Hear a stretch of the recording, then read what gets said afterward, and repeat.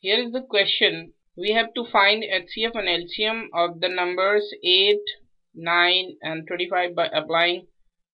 prime factorization method as we have done in last question. So it you we know that 8 can be written as 2 into 2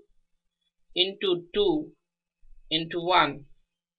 or we can write it as 2 to the power 3 into 1 9 can be written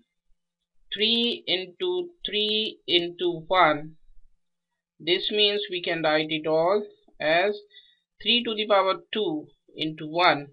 and 25 can be written as 5 into 5 into 1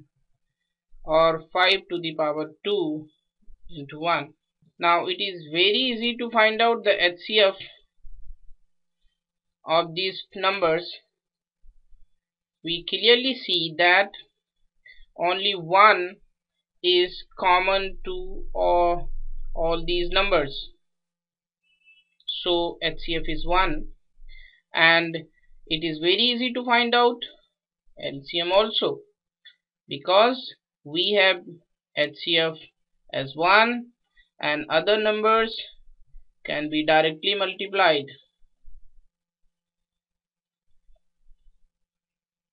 so this is 1800 LCM is 1800